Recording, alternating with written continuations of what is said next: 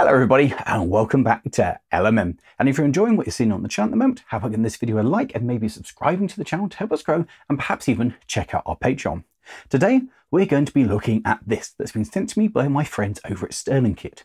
This is a hot air engine. And despite what you may be thinking, it's not in fact a Stirling engine. This is in fact a Rider Ericsson beta engine. Now, the main thing about one of these is the fact that it only has a single cylinder with what's called a displacer in it, but more on that later. But remember, if you quite like the look of this, you can go and save money on Stirling Kit by using the code Lawrie for 12% off. This thing is 12.5 centimeters long by 7 centimeters wide, and it's 12.8 centimeters tall. So it's a lovely small showpiece, and I love all of it. I love all the workmanship across all of it. I just think it's absolutely beautiful. I love this little mechanism going up and down. Now, what's particularly interesting about this one is that this comes with a water pump here. So with every stroke, it draws water up through the container here into the water jacket and then back down. This is a really cool little feature because your general problem with a traditional Stirling hot air engine, like the ones that Stirling Kit have sent me before, is that the whole thing gets too hot and this relies on hot air expanding and then cool air then contracting. On a traditional simple Stirling engine, eventually the thing just gets too hot and it stops running because there's no great differential. The whole system has got warm. This thing because it has a water jacket, means it will keep cool. And I'm told reliably that this will run for a good 15 minutes until it runs out of gas. Because yes, this isn't like my standard methylated spirits engines. This runs on a little gas tank. And for those of you who have seen my live streams, yes, you should be scared. I'm going to be playing with gas. I think this is a beautiful work of art to start off with. Just all of it, particularly on this little wooden base, is absolutely phenomenal. I, I am very happy with this. So the notable features are we have a little hand tap here, and that's for the flow of the gas. The flywheel is here, which comes round, which activates the beam and the pump, and also the displacer is on that as well. I think that's it's so pretty. Some of the engines I've been sent before look a little bit basic, whereas this, this is a proper, proper work of art. So the first thing I'm going to do is assemble it. It comes with the chimney not attached, so that just drops into into there like so. Then it comes with this tiny thing here. Now, it's easy to go, oh, I don't know what that is and forget about it, but it's a crucial part. You will need a pair of tweezers because this part goes inside and rests on top of the burner. Now, it's a bit of a tricky fit to get it in, but you have to get it on top of that burner, otherwise the thing won't run properly. And that is the construction complete. Other features really like are you have this little working door. So there's a little latch on it. And you can open that to get to your fire. And I just, I think that's so cool. And then shut it again and put the latch on. Now, word of warning, obviously that will get hot. Now, mine also you will notice there's a few scratches on it. That's because I have extensively run this before doing this video. I am really impressed with this. Uh, some of the other Stirling engines are kind of a one-hit wonder. You run them once and they do this. This continues to just impress me. I think it's great. It really, it's just that next stage of model.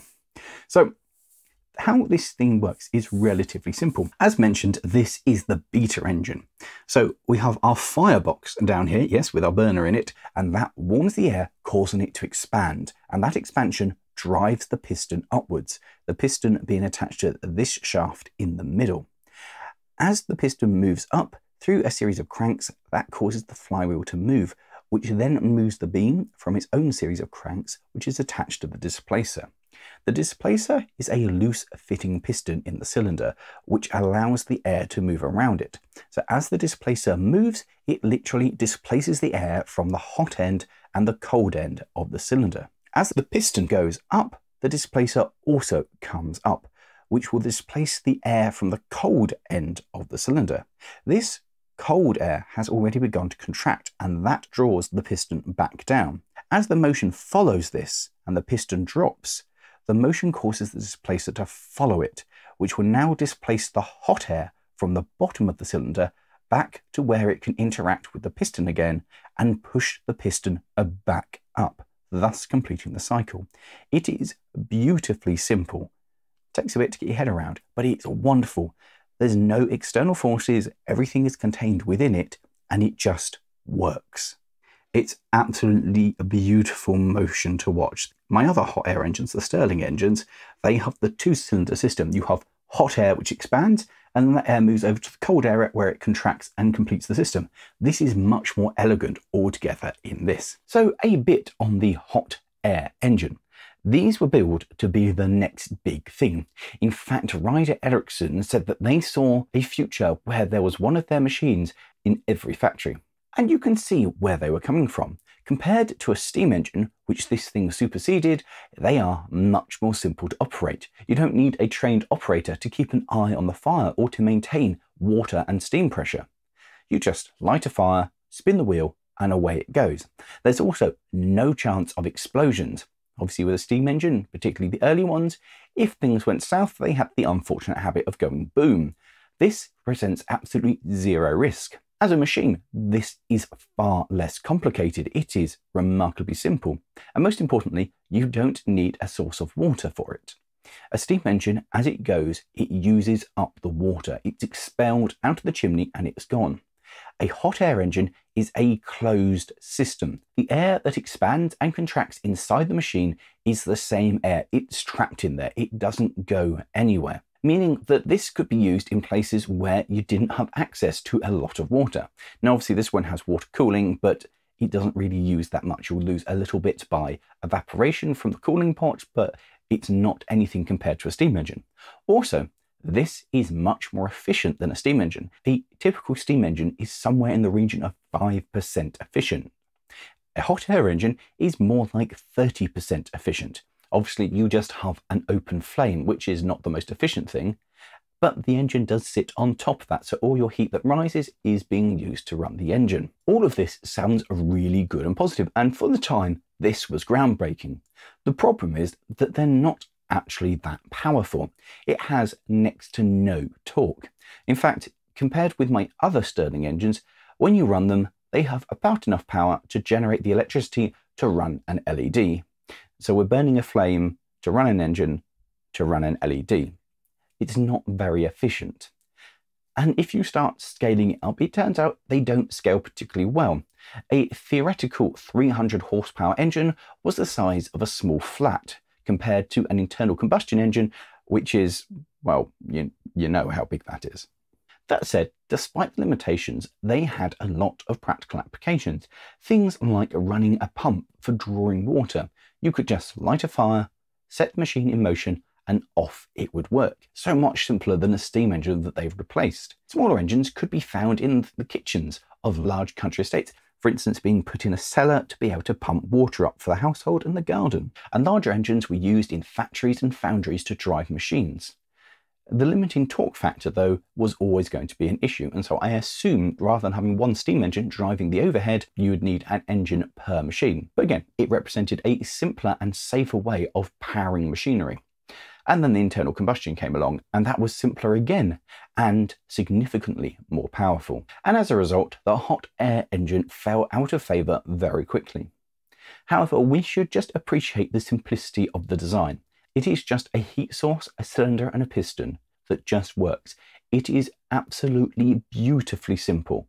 I don't know anything else that is just so graceful working with no steam, no pressurized gas, just the expansion of hot air. Hot air engines are typically only used as a static engine. They are installed in one place and they drive something. They don't really work if you put them into, say, a car. They're quite heavy, they're difficult to start, and they don't really change speed very well. They're very good at just working away at a constant speed. They're quite hard to moderate, which all of this means it's basically useless to put it into a train or a car. But talking of working, let's go through the prep of this and get it ready to go because again, I think this is superb. So this thing comes with actual oil holes for the mechanism. I think that's great. It shows it's much more than just a toy. This is a model. So we're just going to get a bead of oil on the end here and drop it into that oil hole there. And then we're going to drop it into that oil divot there. And there's one on the end here. So that will lubricate the cross shaft. Then I'm just going to give a cursory wipe over all the other moving parts, just to make sure there is a bit of lubrication in there.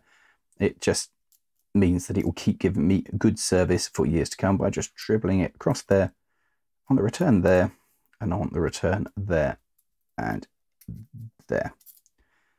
I'm also going to just put some on top of the water pump mechanism on here because I actually really like this. Now that's the basic oiling up done. Next up, it's time to give it some gas. So we take our container here, which I've put a special adapter on so it doesn't hit the chimney. We line it up with the hole and go, and now I've got gas. Next stage is to fill up the container here with water. Now I'm using distilled water just because it means there won't be any impurities in it that could possibly scale up the inside of my mechanism. I filled that up to about three quarters of the way and I've got a bit of water left in here. And that's because before we run it, we have to prime the system, which involves taking off this little screw top here. Now, the first time I did this, it was on exceptionally tight and I had to get a pair of pliers and now it's just finger tight. But just bear in mind, it is a screw. You do need to unscrew it.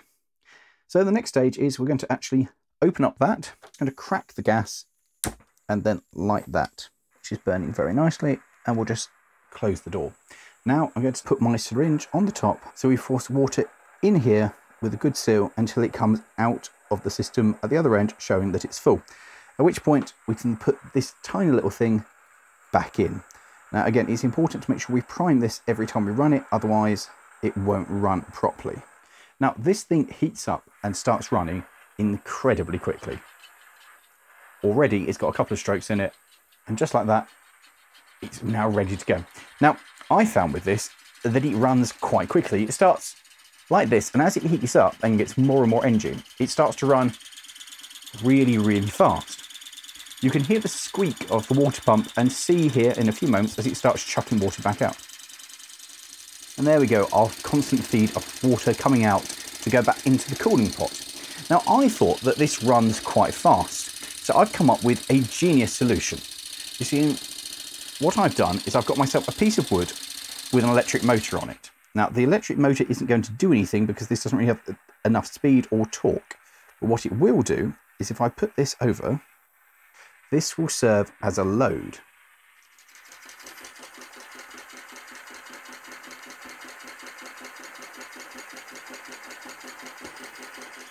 As, as the engine has the habit of kind of running away, I've added this to it.